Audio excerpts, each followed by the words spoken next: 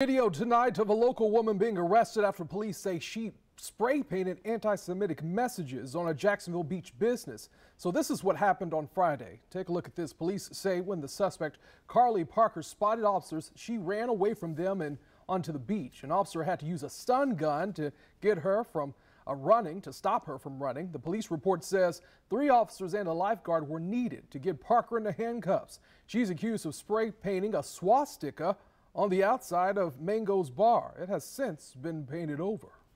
An elderly Florida